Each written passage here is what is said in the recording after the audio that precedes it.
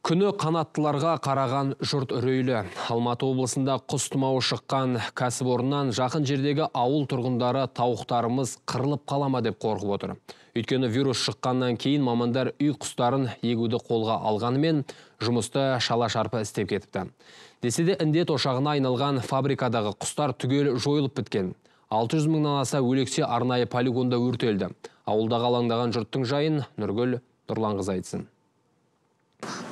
Алматы облысындағы ең ірі құс фабрикасында қырылып қалған қанаттылар мына полигонға әкелінген. Сөйтіп өлекселер түгелдей өртеліпті. Артынша мамандар күлге айналған қанаттыларды көміп тастаған. Сондықтан вирустың жан жаққа жайылуына жол жоқ деп сендіріп отыр. қазан айының 10 жұлдызында соңғы тауықтардың өліктері шықты сол тауықтар шыққанда санағы бойынша 602 бас шықты оның бәрі жойылды көмілді залалсыздандырылды Яғни індет ошағына айналған кәсіпорында бірде бір құс қалмаған десе де осы фабрикаға жақын жердегі ауыл тұрғындарының қорқынышы әлі басылмай отыр. Мұндағы халықтың көбі тауықпен қаз асырайды. Ел аумағында құс тұмауы тарай бастағанда арнайы мамандар үйлерді аралап қанаттыларға екпе салғандай болған. Алайда қорадағы құстың бәрі бірдей ұстатпаған екен. Боюсь, конечно, что... Қорқамын әрине. Тауық пен қаздарымды аман алып қалғым келеді. Өйткені осылардың арқасында күн көріп отырмыз. Екпе салуға келген мамандар барлық үйге кірген жоқ. Ал бізге келгенімен тауықтар ұстатпай,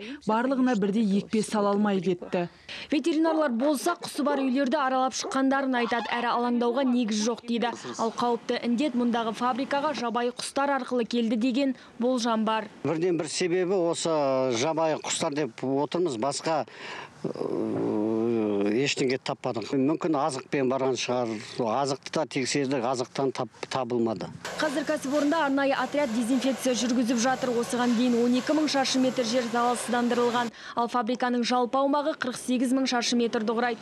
Еске салсақ, мұнда құс тұмауының тарағаны бірнеше апта бұрын белгілі болды. Айналасы бір аптаның ішінде кәсіпорындағы 122 мың құс қырылып қалған болатын. Зерттей келе мұнда құс тұмауы тарағаны анықталды. Кәсіпорын вирусқа қарсы вакцинаға тапсырыс бергенмен, ол сол күйі мұнда жеткізілмеген болып шықты. Соның кесірінен Қазақстандағы ең ірі құс фабрикасы қып-қызыл шығынға батып отыр. Залалсыздандыру жұмыстары аяқталған соң мына ғимараттардан бірнеше сынама алынады. Оның қорытындысы қауіптің жойылғанын көрсетсе, кәсіпорын карантиннен шығарылады. Алайда бұдан кейін де құс фабрикасының иелері үш ай бойы профилактикалық шаралар жүргізуге міндеттеледі. Тек содан кейін ашылып жұмысқа қайта кірісе алады. Нұргүл Нұрланқызы, Алмас Абдешев, КТК, Алматы облысы.